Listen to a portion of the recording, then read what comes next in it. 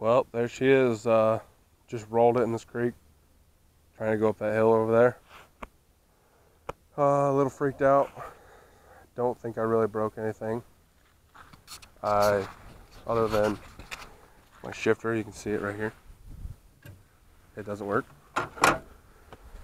Bent the hell out of that uh, hood support, I guess you could call it, right there.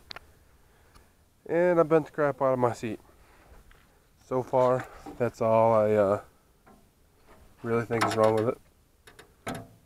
But I'm back here by myself with a broken shifter and no tools to fix it. So don't really know what to do right now. But I got it all on video. If you haven't seen it already, look at it. And yeah, here you go.